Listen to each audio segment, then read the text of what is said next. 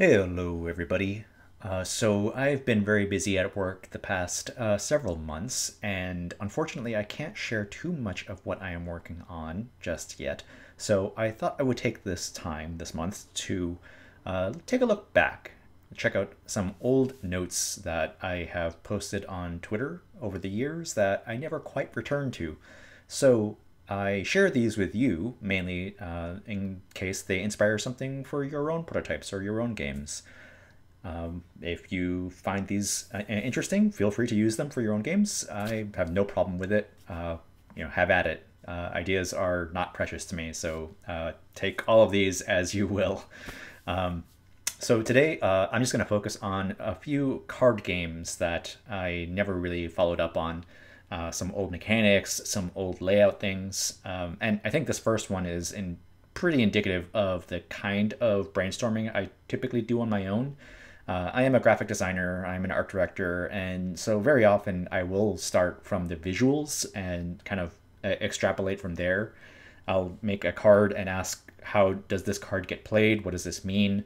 Uh, and especially, I'll, I'll, I'll, usually try cards uh, that don't have that much text on them. I want to see how far I can push uh, iconography without it getting too abstract. Uh, and in this case, the uh, loose idea was that uh, these cards would all have these icons on them, and it would be sort of a tableau builder where you would play cards down in front of you in a line um, and there would be some sort of set collection uh, mechanism that would be triggered by the icons that are next to each of these uh, uh, uh figures. Uh, so the druid has like three of these magic symbols, and then like a foot and a uh, health and a foot and health, whereas the bard is more foot, foot, health, magic, health, magic, and so on. Um, and I was just building off of fantasy tropes here, but theoretically you could theme these icons to be uh, any kind of mix of attributes or stats that uh, that you'd want and that would be appropriate for the theme of the game. I just use fantasy as a shorthand. Um, but the idea of the game was uh, that uh, once you have put these all out in a tableau, um, you will have these icons available to you, but the number of icons from a card that is available is based on the uh, position in the tableau. Uh, what that means is the first card in the tableau would only give you the first icon on that card. In this case, the druid would give you one magic symbol, and you would ignore all the other symbols that are below that. Whereas the bard would give you these two foot tokens, and uh, and then you would ignore all the rest of the icons. Uh, the paladin, being in the third position, would give you three of these sword icons, and you would ignore all the rest of those. All the way up to, uh, I guess, position seven, and that card on the last uh, the seventh position would give you seven icons, all seven icons that are on that card. Uh, that's uh, that was combined with a little bit of a weird idea where um, you would actually build up your tableau in your hand, and uh, the game was uh, sort of a hand builder with a bonanza element where when you acquired new cards, you would have to put them to the right of your hand or to the left of your hand.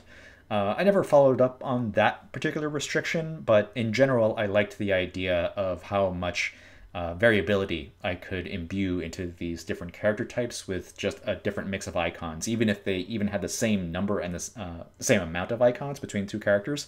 Distributing them differently kind of meant something different. Uh, in this case, the paladin, uh, as the paladin uh, moves further to the right on on the timeline or, or, or the tableau, uh, they start off just being very action combat heavy, but then gradually learn the arts of medicine and then finally uh, magic. Whereas the druid starts off with magic and then gradually gets a little bit better about uh, about uh, movement and health or medicine. Uh, again, the themes of these icons were pretty abstract, but uh, I liked the idea of reflecting the growth of a character in these simple sets of icons in certain positions. I thought the theme of that really came through pretty well. Uh, so next, uh, here's something much more abstract.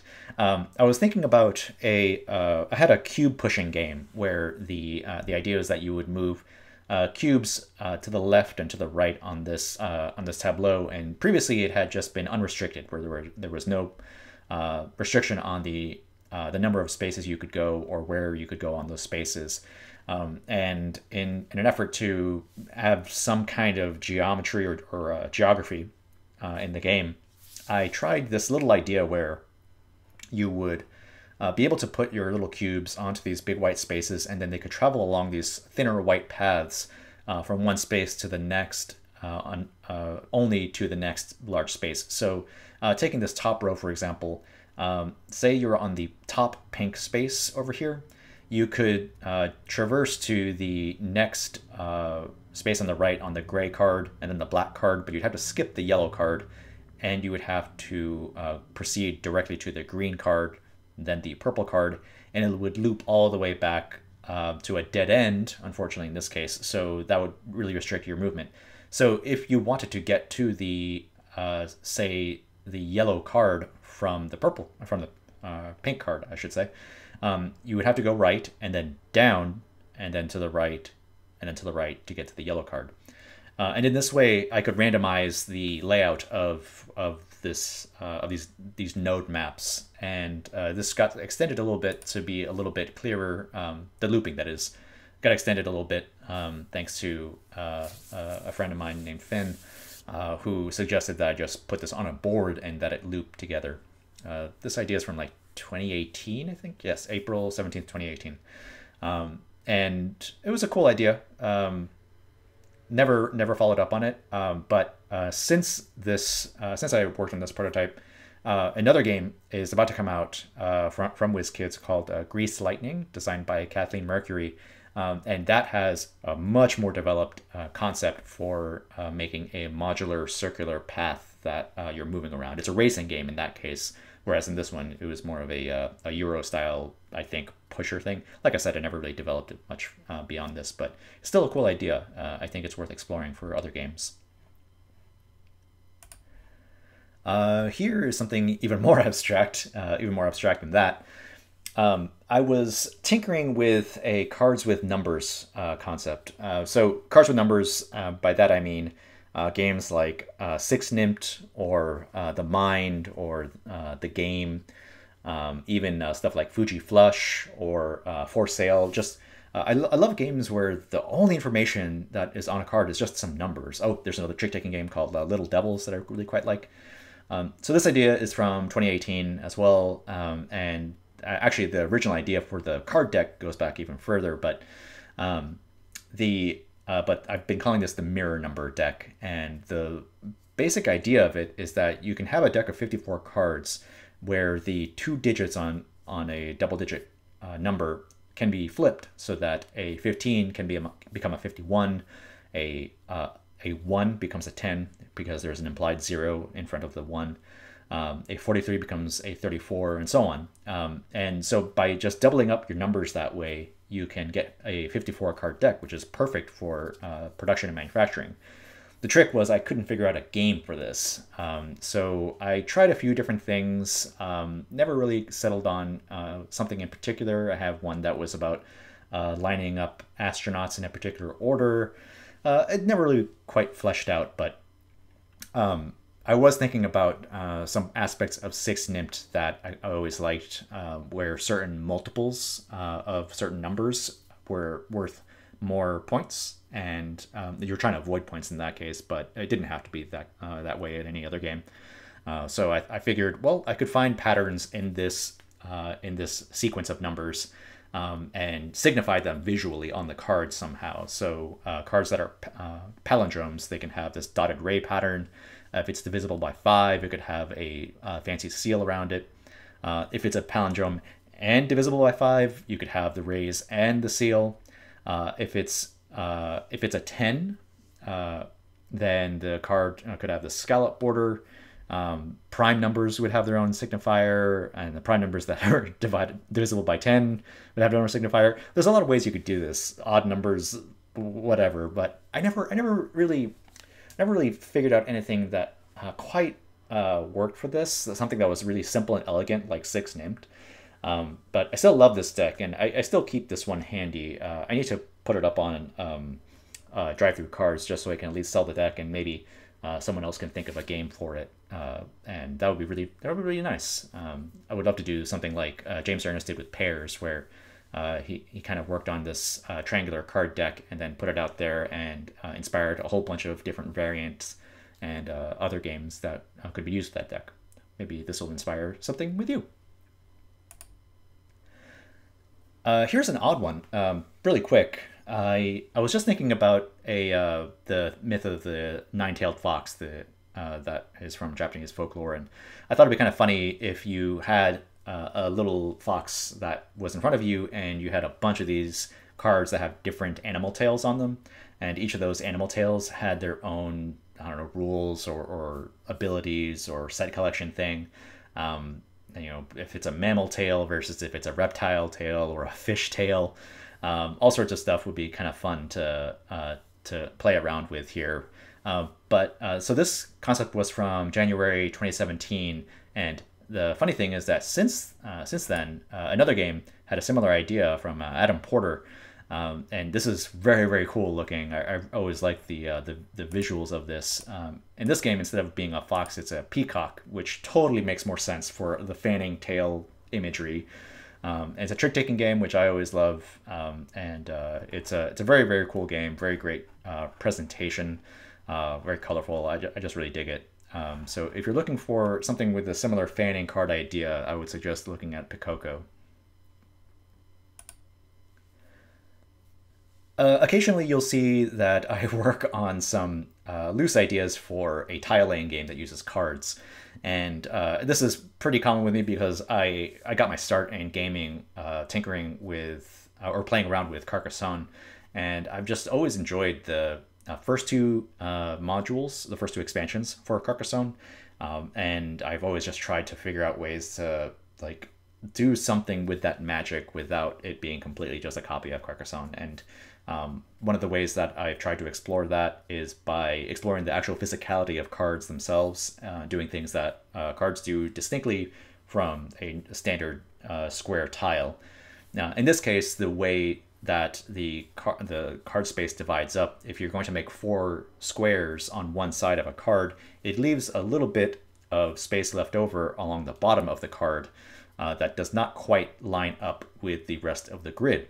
Uh, and so I thought, well, if you were to try to make a tile laying game with these cards using this uh, two by two grid that's on the card, but you left that little bit of extra laying over, you could maybe make a a, a, kind of a set collection uh, thing where the uh, the islands that are in the line with that extra bit of card um, will give you points somehow. Uh, in this case, the uh, second card here um, that is sort of standing alone here is the uh, longest chain in the line where uh, x equals the length of that chain, maximum of five points. Basically, it's saying that you score up to five points for the longest chain of islands in that uh, in that line where that where the uh, little tag indicates these arrows to the left and to the right. Um, in this case, uh, you get five points if you have the fewest islands in the line. Uh, I never really quite figured out if this is a personal tableau if, or if this was a global tableau that everyone was building on, in which case that would require some extra components to indicate who owns that card. Um, each, uh, or perhaps it, it would there would be some indication of uh, pre-printed icons that were on the island that would uh, represent certain players, uh, blue islands, red islands, or something. Um, I think there was some other stuff here. Most groups of at least two islands. This is something I do a lot. Is I brainstorm different set collection mechanisms, um, just because there are certain patterns that repeat themselves a lot in other games, and I find it easier to iterate on uh, stuff than to just completely make stuff uh, wholesale. Um, but I never really quite came back to this. This is an old one. This is from 2014, uh, September 24th, 2014. Uh, I don't know. Maybe I'll come back to this. It's a it's a neat idea, but uh, pretty abstract. I just need to figure out uh, how you get cards and how they're placed. Yeah. Anyway, moving on. Ooh boy, this is a big one. Uh, I was working on this for a while. Uh, this image is from uh, May of 2019, and Whew, boy, uh, where to begin with this? Uh, this was a game that I was tinkering with that I was calling Seahab uh, for a little while, and I basically started with this this inspiration of a book called a um, uh, a door into ocean uh, by uh, the author's name is Joan Sonschlusky.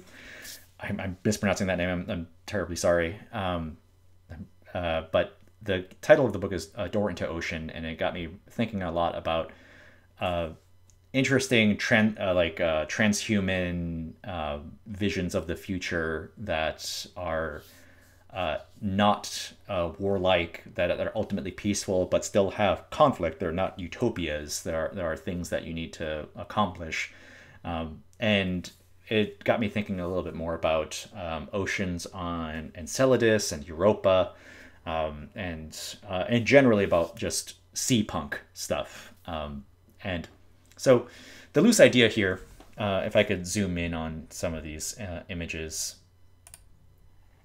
uh, was that you'd have a sea elevator, kind of like a space elevator that goes from the surface of the uh, surface of the uh, Earth to to space into orbit. The idea here is that you would have a highest upper level that would be on the surface of the ocean that just floats on top uh, and is moored all the way down to the bottom to the uh, to the bedrock. And in this in this case, you would have four of those cards that give you an ongoing um, goal, a set collection thing, or something to that effect. Uh, in this case, infomorph transcendentalism. Um, the, uh, the idea is that this culture uh, wants to back up their uh, biological uh, substrates, that is just like people, um, uh, on the in a digital format. Um, so you're trying to get three points per complete and operational habitat pod that is at a different depth. Um, and compulsory anonymity um, is complete is, is, another like like weird cyberpunk futuristic concept. Um, and so the idea here is that you want to get three points per pod that is not adjacent to a pod of the same type. And I generally like coming up with very tight, succinct, sort of sci fi world building names and flavor and representing that with some simple mechanisms that loosely uh, make that theme make sense. And I don't know if I if I quite accomplished that here, but um, in this case, uh, uplift zealotry was kind of like the the uplift concept, but taken to a to an extreme. In this case, you're getting three points per complete and operational biome pod adjacent to an alien or habitat pod. I don't know what any of this means. I came up with a bunch of names and and icons for stuff, and uh, loosely called it uh, different things. So in this case, um, on the top left here, starting from the top, there is a habitat pod um, that is a tidal generator, and it is one turbine, um, and it uh, must be complete um, and uh, at the highest depth in order to be scored. And if you are able to score, if this if this is operational, um, then you will get one point per operational turbine. Um, and what does operational mean?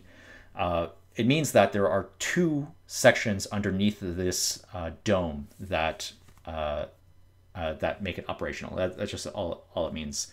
Um, oh wait, no, I got to flip. I'm sorry. That makes it complete. Yes, I, this is all coming to me. Like I said, this is from uh, over over like two years ago now. Um, so yes, uh, you're trying to get these pods complete, and basically that just means that they are a complete circle. And in order to be operational, you have to have the uh, enough crew.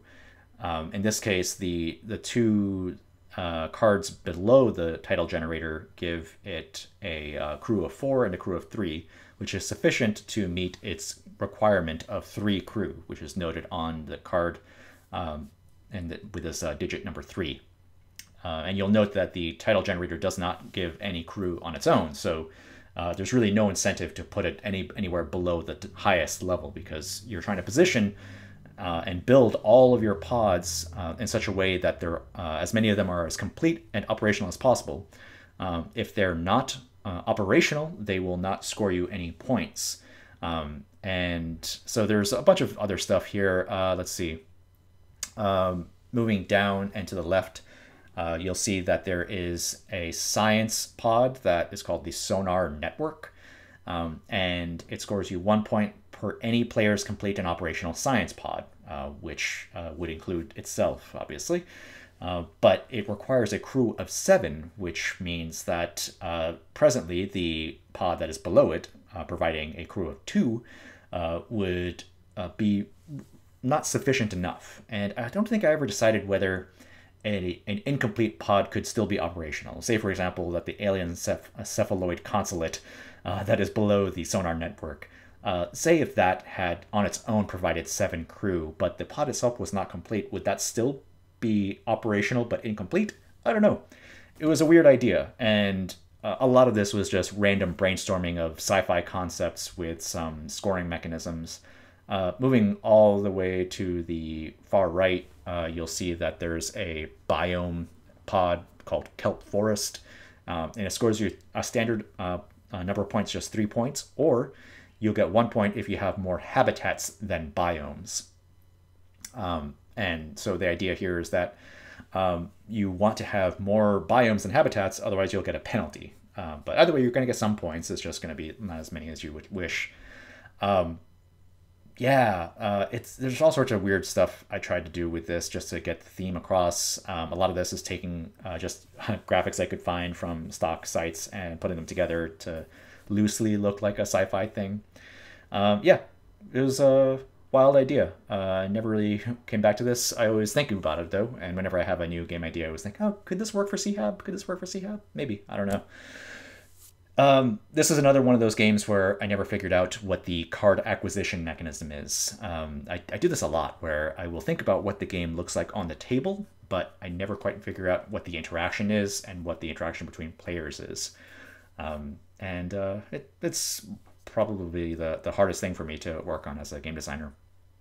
But moving on. Oh, yes, this is an old one. This is from July 2015. Uh, I was uh, again exploring what the uh, what I could do with just cards on their own, tiling them together. In this case, I was thinking about um, the uh, the way that a pinwheel could be built from cards, and thinking about making circles out of those and what that would mean. Um, I landed on uh, the loose idea of building a planet just because, uh, again, I, I, really like sci fi concepts and uh, I especially enjoy the game uh, uh, Little Prince uh, Make Me a Planet. So as I was exploring this a little bit, I had this idea for somehow getting cards, and you would build up um, the the the planet with, into four quadrants, and the extra icons that were on the outside, on the outer perimeter, would somehow give you some again set collection points. I'm not sure. Um, and and this first concept I had was was that uh, it was actually a, some kind of trick taking game, kind of in, in terms of the the actual uh, core loop of the game. So the uh, so the idea was that uh, planets would be built, and the ownership of the different parts of the planet would be indicated by the direction at which the card is pointing. So uh, the card that is uh, the card with the red section here, with the red triangle, uh, it has its extra little bit pointing up towards player three. The uh, card that is yellow with a circle uh, is pointing down towards player one. And that player owns it, I guess. Um, or or that you could only place a card that is pointing towards you to avoid the ambiguity of someone playing a card that you now own, which would be kind of odd, but maybe that's something I should have explored more thoroughly. Um, but the idea is that uh, completing planets would get you stuff. Uh, I think uh, it was it was very loose, and I never really did much with it. But um, I was helped greatly uh, by working with uh, Matt Wolf on this concept. So about gosh, uh, this this image is from April eighth, twenty eighteen. Um, so I was thinking more and more about what the planets would look like, and I came up with some some artwork here that was kind of neat. Um, and uh, Matt Wolf and I were tinkering with this for quite a while at uh, meetings before uh, the pandemic hit and we uh, couldn't meet anymore. Uh, but again, I was just tinkering with visuals a lot of the time, and I never really nailed down. Uh, I was kind of flaky on this project, to be honest, and I never quite committed to coming up with some really nice, solid interaction. Um, again, card acquisition is the is the thing where this whole concept never quite flourished. Um, so some loose ideas that we had uh, was uh, starting the game with three cards in your hand, and then you flip one of those over to become a uh, the what the sun is in the solar system, and that would give you some end game uh, uh, scoring conditions that you're trying to pursue. Uh, we had thought about uh, ships moving around an asteroid field that that would be collecting these cards with some kind of tractor beam. Um, and each of the cards had different attributes. Um, sometimes they would or would not have a moon. They would have different terrain types. they would have astronauts on them or not. They would have atmospheres or not. Um, a lot of permutations that I was exploring. Um, so the loose idea was that uh, you would move your ship around uh, the asteroid belt, um, or you would spend a card to move uh, X number of spaces, um, and you had to move clockwise. Um, and then your tra- uh, tractor beam just uh, points straight uh, in a straight line towards the, the, the big board of cards, and you would collect the, the first card that you hit.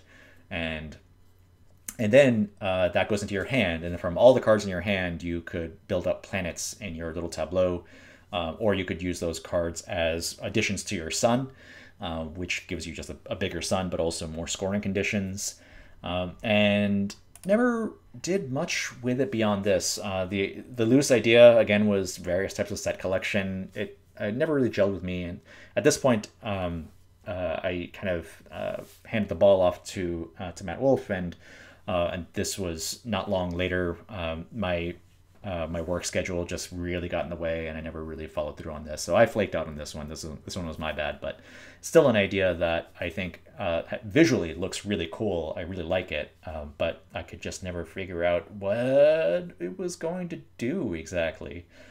Um, but anywho, uh, that's enough talking from me today. Uh, hopefully you enjoyed this. This is a kind of an odd episode, I guess. But um, if you're interested in seeing more of this, I have more loose, unfinished ideas that I haven't quite uh, finished up or done much with uh, since I initially uh, posted them.